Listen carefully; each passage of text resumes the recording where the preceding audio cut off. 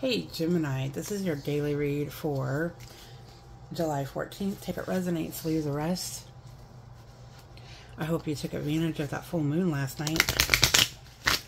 I hope you did some affirmations, did what you need to do to cleanse, release, welcome in the new stuff.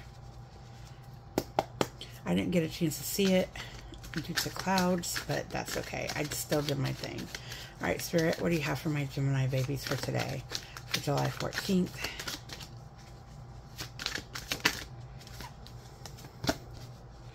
Emperor Power. We have empowerment here.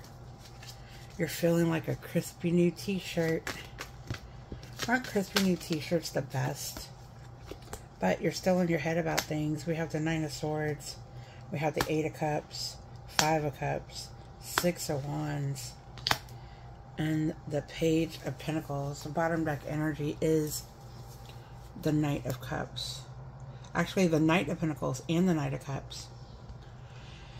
So you are definitely figuring out certain things. Um, you are stepping into your empowerment. You're moving towards your happiness. And you're moving towards your strength. You don't have a hard time seeing it, but you have a hard time doing it because you do feel like you're leaving certain things behind with the Eight of Cups.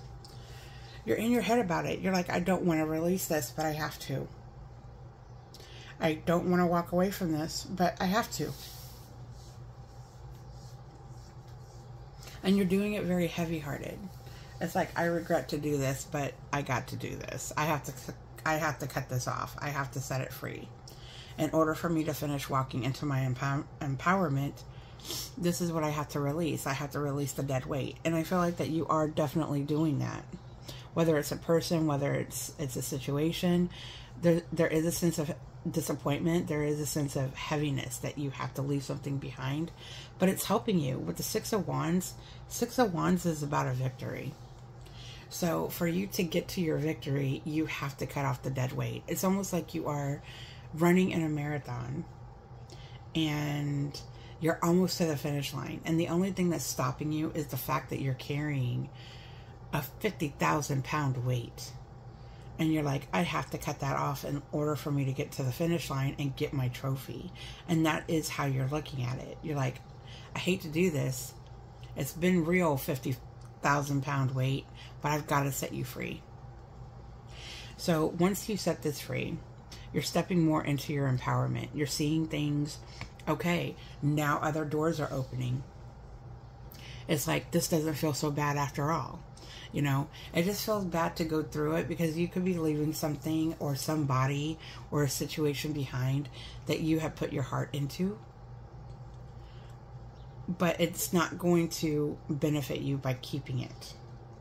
And you do. You end up realizing this. You know, I, with a heavy heart, I am okay with this now. You know, like you come to some kind of uh, enlightenment or some kind of conclusion about it that you are um, doing the right thing.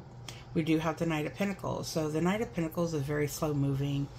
You start seeing that things are going to build nice and slow.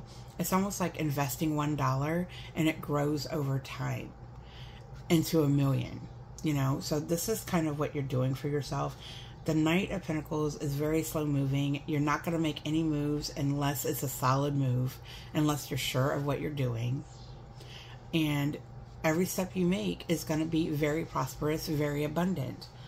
Even though they're slow steps, they are indeed steps, and each one gets bigger and better and greater as you go along. We do also have the Knight of Cups. I feel like that, you know, it might take a little bit of time, but your heart's going to get in there as to I am so glad I cut this free. I am so glad I set that free because I can open up myself to new and better beginnings somewhere else, following my heart's content. Something else is out there that's aligning with your heart more than what you set free. So there is definitely something that you're setting free. You may not be in it just yet, but you will be because you're going to start seeing progress. You're going to start seeing progress, and it's going to start making sense to you as to why you had to set it free. All right, Spirit. What energies is around Gemini? What energies is around Gemini?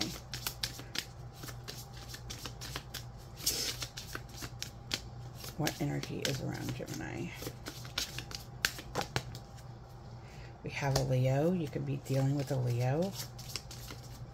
What other energies is around Gemini?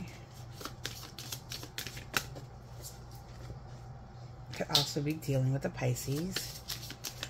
What other energies is around Gemini? Keep in mind, this these could be placements in your own chart or placements in the chart of the people that you know um, more than just sun, you know, so it could be anywhere in their chart.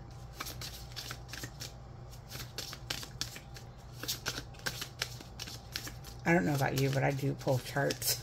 I pull charts on people around me because I want to know what I'm around. I want to know what I'm dealing with. What other energies is around Gemini spirit? We also have Taurus. Bottom deck energy is Sagittarius. So that's what I have for you today, Gemini. I'm sending you all kinds of love, light, healing, and protection. Have a great day, and I will talk to you soon.